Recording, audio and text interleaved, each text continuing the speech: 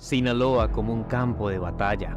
Triste la realidad que se vive en el Estado de México, donde actualmente se libran los más crudos enfrentamientos entre cárteles jamás antes vistos. Y es que todo esto tiene un protagonista situado en la codicia. Culturalmente las personas que se dedican a estas labores delincuenciales piensan que es un orgullo dedicarse a hacer daño.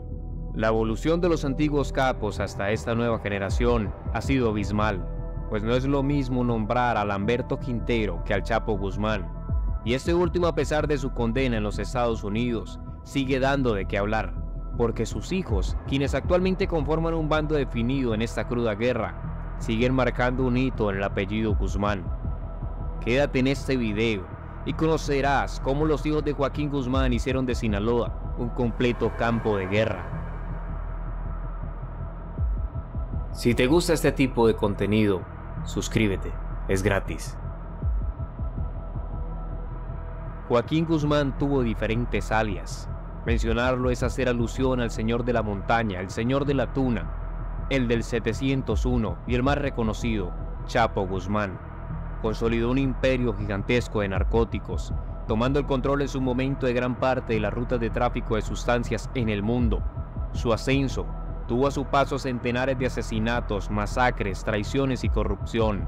Se puede decir que este hombre fue un empresario del narcotráfico, donde sus mayores acciones empresariales quedaron bajo la supervisión de su descendencia, pues los hijos del Chapo actualmente han tomado el control de diferentes zonas del territorio mexicano. Con una crueldad más hostil, han causado muchas muertes, donde han caído inocentes. Los chapitos, como se les conocen, buscan alcanzar el mismo poder que en su momento tuvo su padre. Uno de los chapitos tuvo los ojos del mundo en octubre del 2019, tras una operación caótica para civiles y el gobierno mexicano, pues capturaron a Ovidio Guzmán López, conocido como el ratón, pero como ya se conoce en aquella ocasión, debido a la lluvia de balas y cantidad de crímenes que cometieron los miembros de la chapiza, las autoridades se vieron obligadas a dejar en libertad en ese mismo momento a Ovidio. Sin embargo, el 5 de enero del 2023, las autoridades buscarían repetir la operación y esta vez sí conseguirían colocar bajo custodia a uno de los hijos del Chapo. Muchos subestimaron el control de los chapitos y consideraron que capturando el ratón lograrían frenar el ascenso. Se les escapó el detalle que el Chapo tuvo 10 hijos reconocidos, pues muchos sugieren que Guzmán lo era, dejó más descendientes en el centenar de relaciones clandestinas que tuvo. El caso es que con la operación que puso tras las rejas a Ovidio se pudo determinar con certeza que Iván Archibaldo y Jesús Alfredo Guzmán Salazar son quienes manejan la organización y tienen tanto poder que se han catalogado como los rivales directos del CJNG y el mismo Ismael Zambada García, el Mayo, con quien se disputan directamente el control y supremacía del cártel de Sinaloa, convirtiendo este estado en un ambiente hostil y peligroso para todos sus habitantes. Quizá era necesario que el patriarca o el Chapo Guzmán estuviera encerrado o saliera de circulación para colocar a prueba de fuego las capacidades de sus hijos, pues actualmente de Ovidio Guzmán se dice que no fue capturado y que realmente llevaban un hombre parecido. Lo que sí es cierto es que recientemente se conoció que este jovencito estaba a bordo de un avión siendo extraditado a los Estados Unidos y esto permite suponer que el poder de los Guzmán a veces se ve limitado, aunque no se sabe cuál es el plan detrás de todo ese suceso. Pero retomando, mientras la malliza se enfrenta a la chapiza, siguen paseando grandes cantidades de alcaloides a la tierra del tío Sam, donde incluso el fentanilo ha tomado gran parte del mercado, y los mayores traficantes de esta sustancia son los hijos del Chapo, quienes de acuerdo al Departamento Antinarcóticos estadounidense, han subido su escala como criminales más buscados y se ofrece la tentadora cifra de hasta 10 millones de dólares por cualquier información que permita dar con el paradero de los chapitos libres. Pero volvamos al ratón, quien en este momento se dice que está enjaulado y posiblemente purgará una condena larga en la tierra del tío San, el joven, con un poco más de 30 años.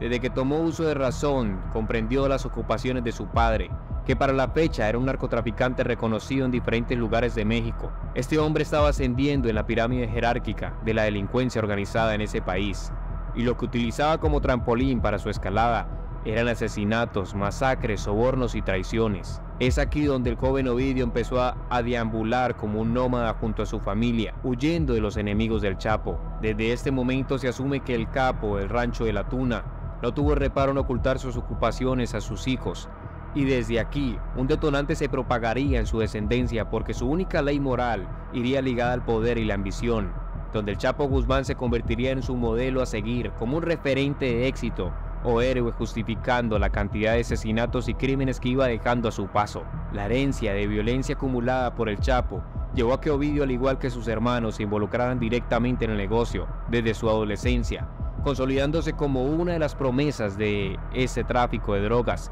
y captando lo que Edgar Guzmán, su hermano mayor, le aportó. Este último dado de baja en el 2008, en medio de la cruda guerra que su progenitor, el Chapo, llevaba contra el cártel de los Beltrán Leiva. Ante el inminente ascenso de los Chapitos, las fuerzas del orden partieron el jueves 17 de octubre del 2019 con la misión de llegar a Culiacán y colocar bajo custodia al hijo menor del Chapo. Lanzando el operativo con cautela lograron hacerse con el control de la zona y con el factor sorpresa como aliado, pronto redujeron la escolta que resguardaba Ovidio, cuando las autoridades estaban dando el parte del éxito de la operación, Iván Archibaldo, el hermano mayor de Ovidio, sacaba toda su artillería a las calles, que se inundaron de hombres fuertemente armados, integrantes de la chapiza. Los menores se desbordaron en la violencia, los menores se desbordaron en la violencia, pues no midieron efectos colaterales y se tomaron las vías de acceso a la ciudad, dominando tierra y aire, con el aeropuerto asegurado y las salidas de la ciudad custodiadas, era imposible que sacaran al recién capturado. Solo faltaba aumentar el caos con lluvia de balas en las calles, explosiones, carros incinerados y sin la opción de recoger los muertos que caían de los dos bandos. Fue tanto el desmadre que se armó que incluso muchos civiles salieron del radar, capturando inocentes, y ante este punto álgido del combate, el presidente dio la orden que las fuerzas del orden desistieran del operativo, liberando nuevamente al hijo del Chapo. Sin embargo, este suceso calificado como el jueves negro nunca se había visto en Culiacán, lo que permitió comprobar lo sospechado, la capacidad militar y el poder que habían adquirido los hijos del Chapo o el señor de la Tuna. El apellido Guzmán seguía perdurando en el tráfico de drogas y los hijos del Chapo habían hecho de Culiacán, Sinaloa, un completo campo de batalla. Sin embargo, este no sería el único episodio donde los menores enfrentarían al Estado a sangre y fuego pues el Culiacanazo sería replicado el 5 de enero del 2023, cuando nuevamente los militares llegaron a capturar a Ovidio Guzmán. Esta vez ingresaron hasta la sindicatura de Jesús María, donde controlaron la zona rápidamente. Las fuerzas del orden iban bien equipadas en armamento y las ráfagas de armas de alto calibre retumbaron en los techos de las casas de los habitantes del sector. Helicópteros sobrevolaban el perímetro y aunque Ovidio y su escolta lograron fugarse en vehículos blindados, fueron sorprendidos por las autoridades, dando nuevamente su captura. La chapiza nuevamente había sembrado el terror y empleando la misma táctica del 2019, convirtieron Culiacán y sus alrededores en puntos de combate. Solo que esta vez ya las autoridades iban preparadas y mediante el uso de uno de los helicópteros aseguraron a Ovidio, garantizando que el ratón quedara enjaulado. Posteriormente, Ovidio fue asegurado en el altiplano y donde se conoció recientemente que fue extraditado a los Estados Unidos, donde deberá pagar por sus delitos. Con este suceso se traerían muchas consecuencias, pues las hipótesis que se elaboraron es que un antiguo aliado del Chapo y sus hijos, o sea, el Mayo Zambada, entregó al menor del Chapo, generando directamente una confrontación y enfrentamiento entre los bandos por buscar la supremacía y liderazgo del cártel de Sinaloa. Actualmente Iván Archibaldo, junto a Jesús Alfredo, lideran una de las facciones del cártel y se presume que ya lograron hacerse con el control de la capital sinaloense. Es curioso observar que a pesar de las disputas, no se ven golpes directos hacia el Mayo Zambada, pues al fin de cuentas, los hijos del Chapo hacen parte de la nueva generación que se vinculó al negocio de la droga, y aunque tienen el estatus de capos, no se puede desconocer que el señor del sombrero o el del quinto mes tienen muchas más décadas liderando el tráfico de superfacientes. Un hombre que nunca ha estado recluido en un penal y vio caer presos o muertos a sus antiguos socios, nombres como Amado Carrillo, Rafael Caro Quintero, Miguel Ángel Félix Gallardo, entre otros. Como se sabe, la trayectoria del Mayo remonta desde los orígenes del extinto cártel de Guadalajara.